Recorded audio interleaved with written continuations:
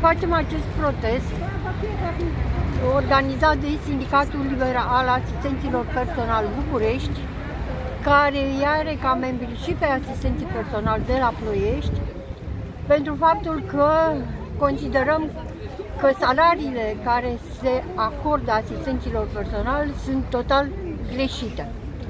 Uh, calculul acestor salarii, uh, prin acest calcul s-a ajuns ca uh, salariile până la gradația 3 să fie toate pe salariul minim pe economie, ceea ce nu considerăm că nu este corect pentru că nu se aplică indicile de coeficientul de bază și uh, nu se ține cont de uh, vechime.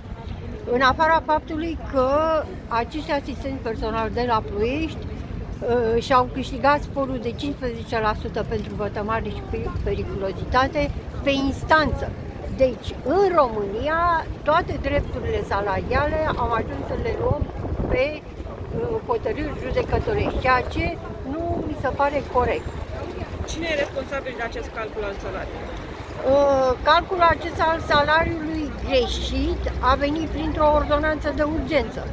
Deci, uh, noi am luat-o ierarhic, da, cu protestul, întâi la primărie, pentru că primăria este ordinatorul de uh, principal de credit, după care vom merge la prefectură, pentru că, după cum se știe, prefectura este reprezentantul guvernului în uh, teritoriu.